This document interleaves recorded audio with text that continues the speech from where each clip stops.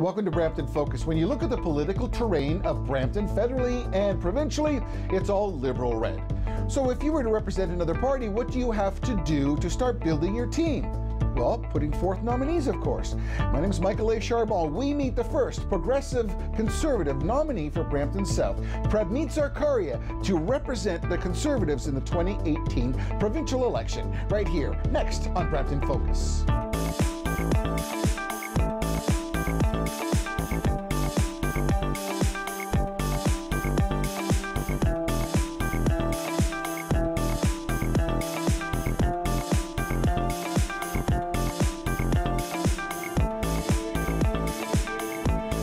And welcome back to Brampton Focus. Well, when you look at the red landscape in Brampton, you kind of say, Jesus, it's a tough place to be a conservative. Do you think?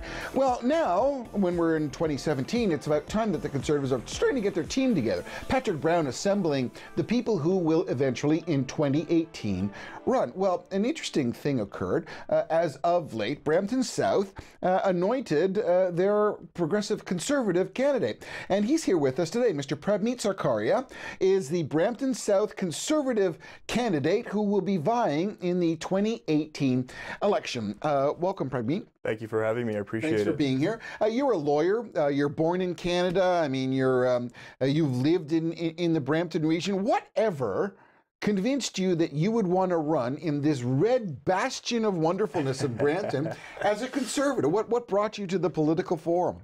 Well, for me, really, it's been about the community, uh, my involvement in the community, and really listening to the grassroots and what, what people are fed up with and what they've uh, experienced in the past uh, 15, 16 years of uh, Liberal reign. Uh, just a bit of background about myself born in Ontario, raised in uh, Canada my whole life, um, lived in Caledon for a bit, grew up playing football, soccer, hockey, rugby. I went off to Laurier to complete my BBA in finance, mm. after which I went to the University of Windsor and completed my law degree, and now I uh, work with uh, Miller Thomson, one of Canada's largest law firms. Uh, so that all sounds absolutely logical. That's why I asked, why did you ever think to get involved in politics? well, I've been involved with a lot of um, uh, community groups. Uh, uh, you know, I've, i sit on the board for Hockey for Humanity. We do charity tournaments, helping raise money for different charities, President's Choice Children's Society, Right to Play. you know, I, am involved with Karma Grow, where we harvest vegetables on donated land and then donate to um, various hmm. uh, food banks, um, as well as I sit on the Brampton Property uh, Standards Tribunal as well. So I've tried to keep myself involved in the community, and, and that's where I really got this urge that, um, you know, I've been involved in the community. There's so many issues that affect us uh, locally, mm-hmm. provincially, that just haven't been uh, spoken to. Uh, there's just people uh, are just completely fed up with the system now. There's been so many years of arrogance and, and waste from our, our government officials, and I felt like there's a need, there's a, disconnect between uh, the residents of Brampton South and Queens Park. Uh, and I, I felt that, uh, you know, I've, I've been involved with the community. I know what they, what they want, what they speak to. Um, and, and, I just felt this, a lot of energy around Patrick Brown and the PC party. Um, and, you know, I, it aligns very well with uh, my values. And I said, you know what, when just hearing people in general speaking to me, and I just said, you know what, I want to do this for the people. Uh, I need to get uh, their voice to Queens Park. So Amrit Mangat is the uh, provincial uh, representative. She's a liberal. Um, she won uh, in the last election against uh, Gill, and there was a formidable campaign and a name that uh, translated in the Brampton community. Uh, Amrit Mangat won by 47.93%, so 47%. Unfortunately, uh, with a population of just about 136,000 in Brampton South, only 36% of your constituents turned out to vote. 36%. Um, that would be something that, that one would uh, be a little frightened at at the outset. But more importantly, uh, Mangat has been um, uh, represented uh, Brampton South now for over eight years. What makes you think that there's been a disconnect? Because she's been reelected. Brampton is all red.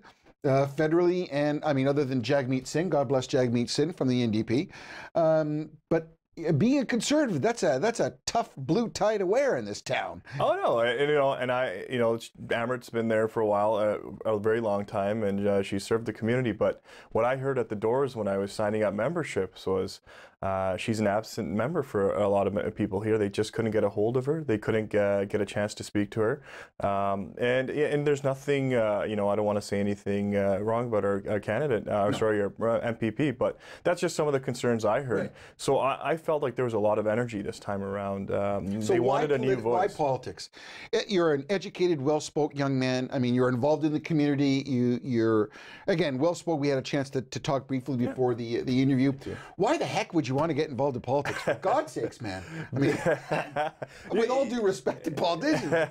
you know, and that's and that's where it is because I feel like there's just uh, there's in my opinion there's a disconnect. There's uh, do we have the right candidates to go to Queens Park and speak on behalf of behalf of the community?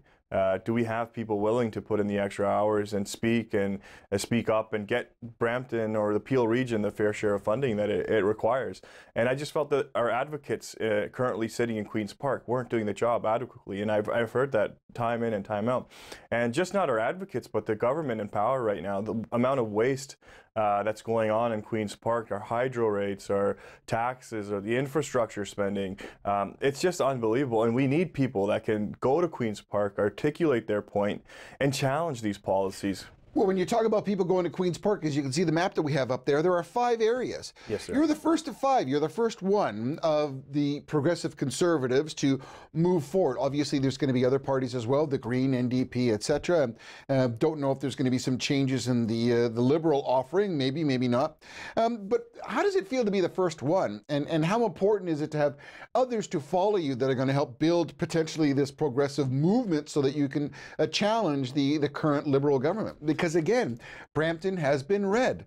I mean, highly immigrant oriented. How, how, does that favor in, in or focus, I should say, in your aim? How, how, do you how do you how do you deal with that? Well, I think we need to speak to uh, the policies that affect everyday uh, Ontarians, whether immigrants or not. Uh, hydro rates affect every single person in this uh, in this province, in this riding, in this. We'll talk about that in the second segment. Yeah. So uh, it's just basically connecting. Like you know, sure, it's a liberal red, but um, we've got it. We've got to make those inroads, and that's one of the reasons we've been nominated so early. Is to have a year and a half. We have about 16 uh, to 17 months to campaign and connect with the residents of Brampton South and all across Brampton, uh, and convince them of Patrick Brown's message. And, and, you know, it's it's not a hard thing to do because the Liberal government and their arrogance and, and wasteful spending has just been unbelievable.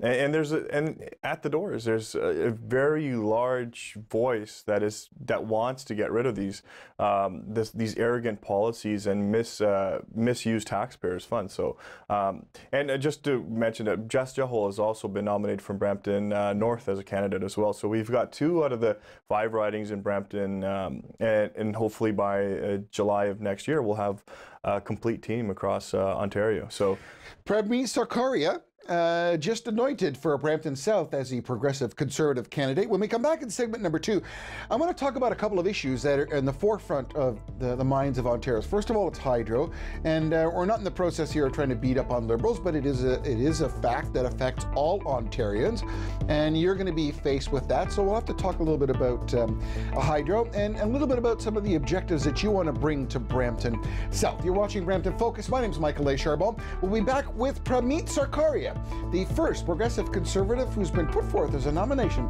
for the election coming in 2018. Come back, we'll talk more about this.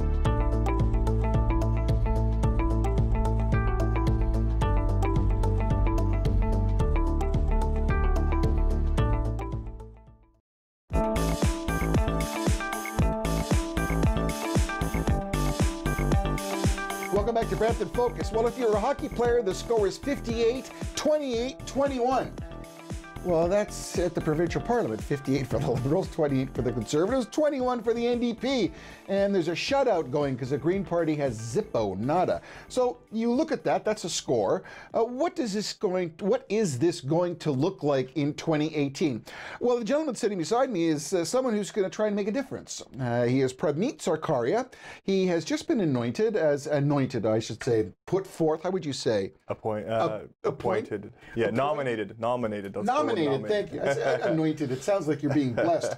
he has been nominated as the progressive conservative candidate uh, for Brampton South, and uh, Brampton Focus here wanted to talk to somebody who's in the grassroots. I mean, as you all know, I mean, Brampton is all red. So. Um, one of the first things that comes to mind, and I had an opportunity to talk to Andrea Horwath and as well to Patrick Brown about this, uh, and this is not a uh, cut up the Liberals program, but it is something from an Ontarian who is concerned. Where do you sit about what's going on with Hydro One now? We're, we're in the ditch 30%. We got a horrible budget. Um, they're talking about selling another 30%. Where, where do you sit on that issue? Well, we're completely, uh, the party is completely against uh, selling off of Hydro One, uh, and there's various reasons for it. But let's just talk about hydro in general. Why does Ontario have the high, highest hydro rates in all of North America? Right, and, and, the effect of this is just not on the consumer or the individual household. Right, we have people, hundreds and thousands of people who, who are in arrears on their hydro bills. Mm-hmm. And the premier failed to acknowledge this until maybe this summer. Uh, you know, there's been years of um, increases in hydro rates, and there's projected uh, hydro rate increases um, for the next 20 years, according to our own studies and mm-hmm. plans.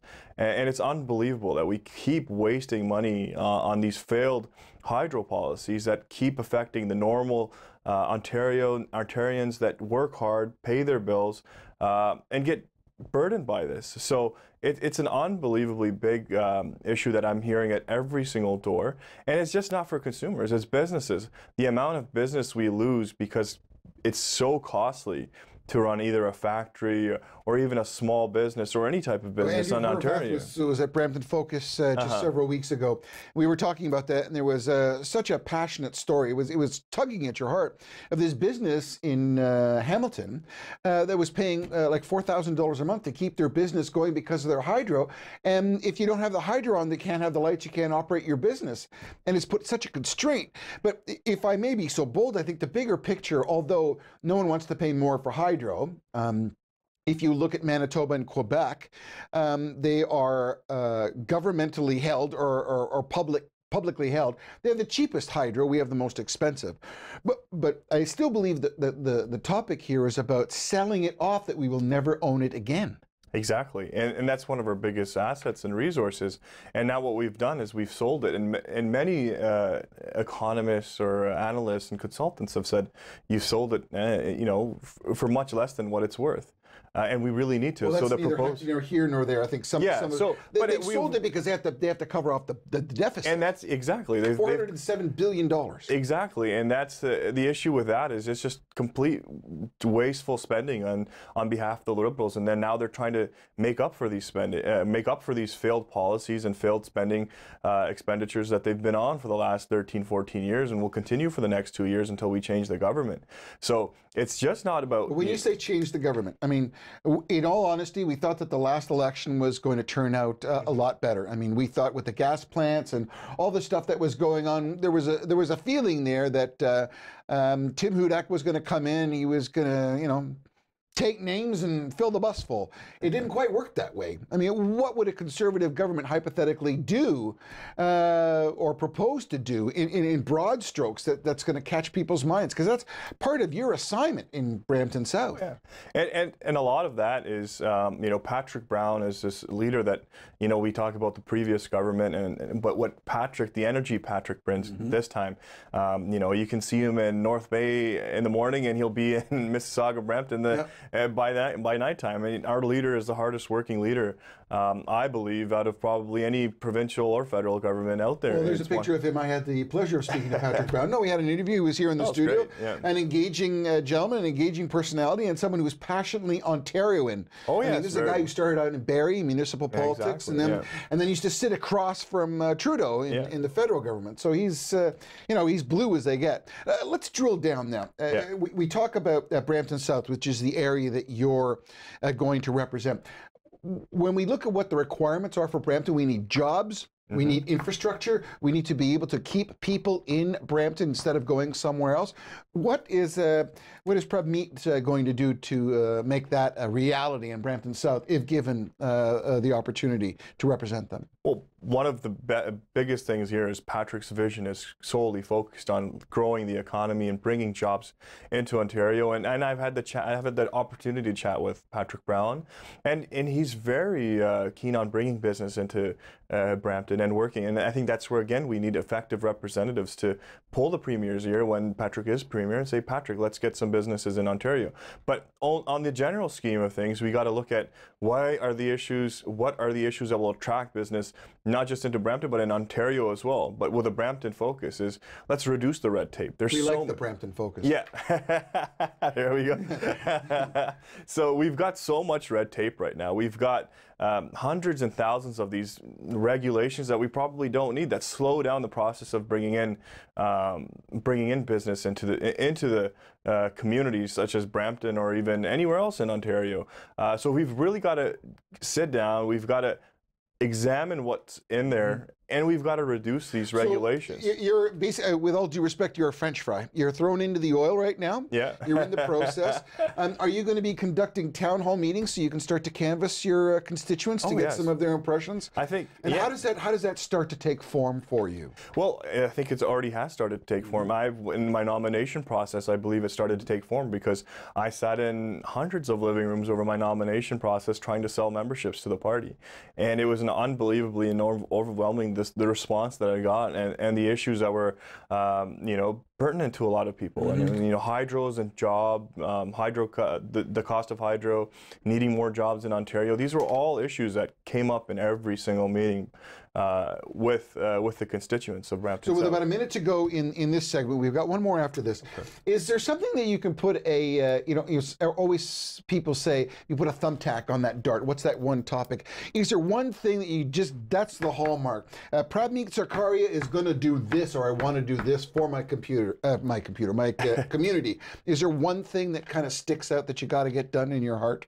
I think bringing more jobs to uh, Brampton South is, is going to be a big focus of mine uh, because we need to employ as many people as we can. Um, uh, we've got, and you know, jobs and hydro are going to be my two issues that I really want to improve for people because hydro affects every single person um, living in Ontario. So we've got to reduce the level, uh, the cost of living for a lot of people so they can do uh, go out and enjoy and help the economy buy stuff and uh, go on from there. So that the, my goal is to get jobs to uh, Ontario, uh, Brampton specifically, and reduce hydro rates. Prabmeet Sarkaria is the progressive conservative candidate who has been nominated to represent Brampton South. When we come back, our final uh, segment, and we'll drill down a little bit and find out a little bit more about who this guy is, why someone would vote for him, and what made him run for politics. We've got to ask some of those poignant questions because you want to know the background, right? My name is Michael A. Charbon. You're watching Brampton Focus. We'll be back with lots more right after this.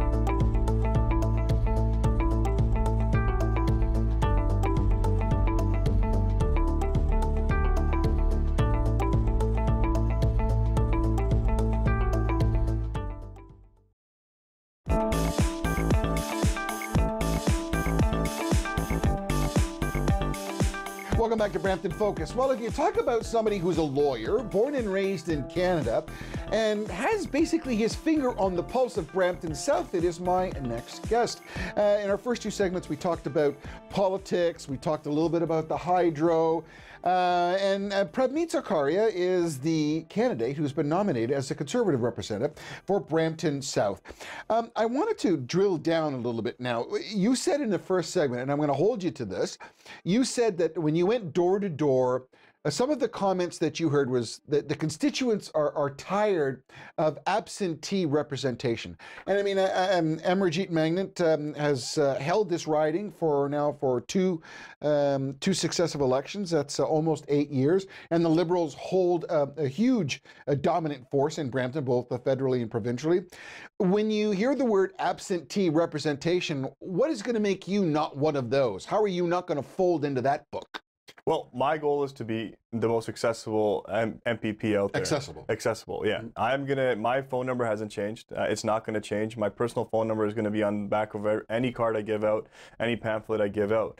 But I think uh, one of the main reasons th- that I won't be is because I always want to be because we're only as strong as the, the the people that elect us, and we'll see that you know, this the riding of Brampton South is no longer going to be uh, um, held by Amrit Mangat. She's been moving off to Mississauga Malton, so it'll be an Oh, open okay. riding. So that kind of goes to show, um, you know, there there ha- there's been a disconnect, and prob- possibly that the candidate, uh, the current sitting MPP, even knows there's a disconnect in that area.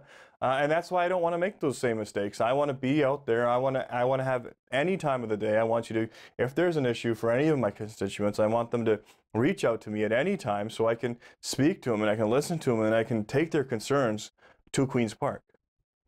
So when you talk about going to Queens Park, um, uh, I had the pleasure of interviewing Andrea Horwath uh, just several weeks ago, and we talked about tolls. And when you talk about road tolls, um, uh, current uh, mayor of Toronto, John Tory, says it's two bucks each way. That means four bucks a day if you use the Gardiner each day. It's about nine hundred dollars a year that it could conceivably hit you in tolls.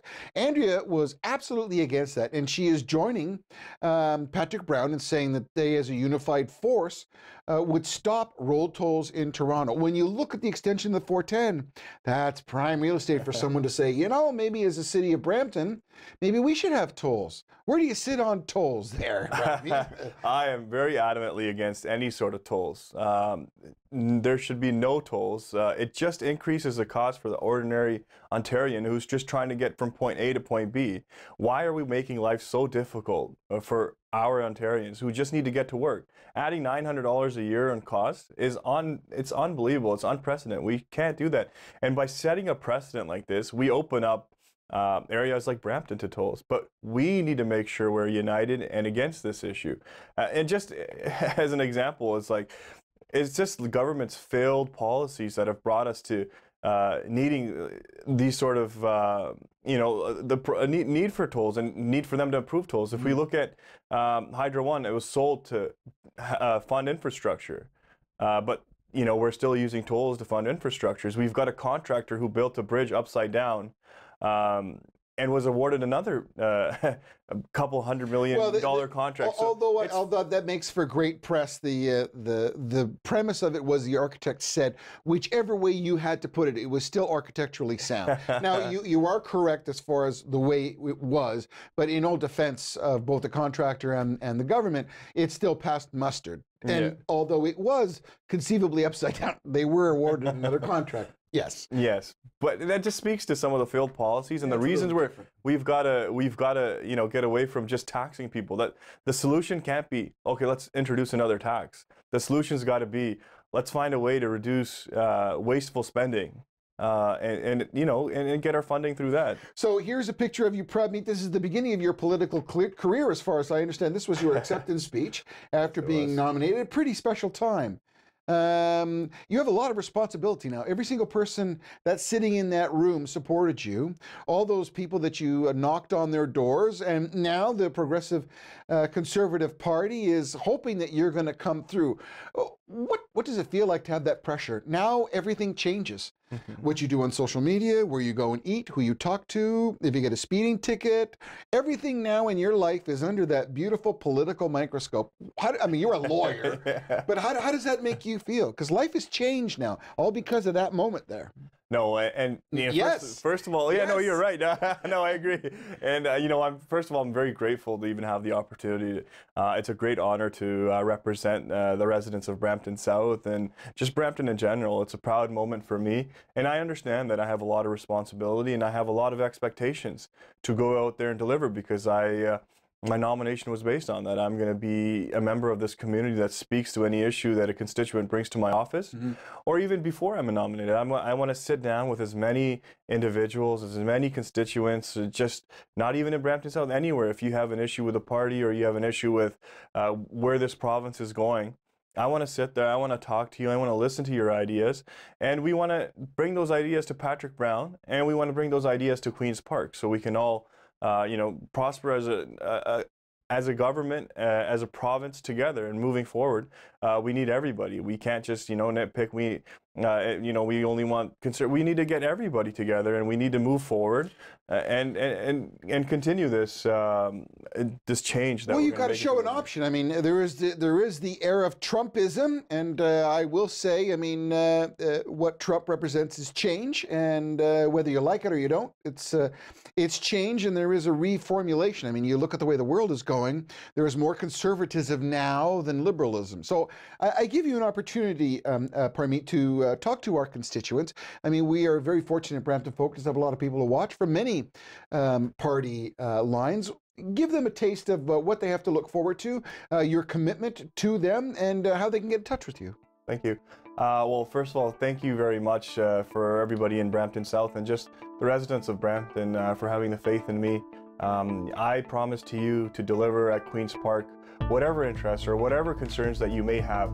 So, once again, if you have any uh, issues with me, you can contact me on my website, prabmeetsarkaria.com. Uh, follow me on Twitter, Prab Sarkaria, or contact me on Facebook. My cell phone number is 416 558 0057, and I look forward to working with every, each and every single one of you. Prabmeet Sarkaria, he is the nominated candidate for Brampton South for the Progressive Conservatives underneath the leadership of Patrick Brown. My name is Michael A. Charbon. Thank you very much for watching. We look forward to seeing you again. You can always reach us at bramptonfocus.ca. Thanks for watching.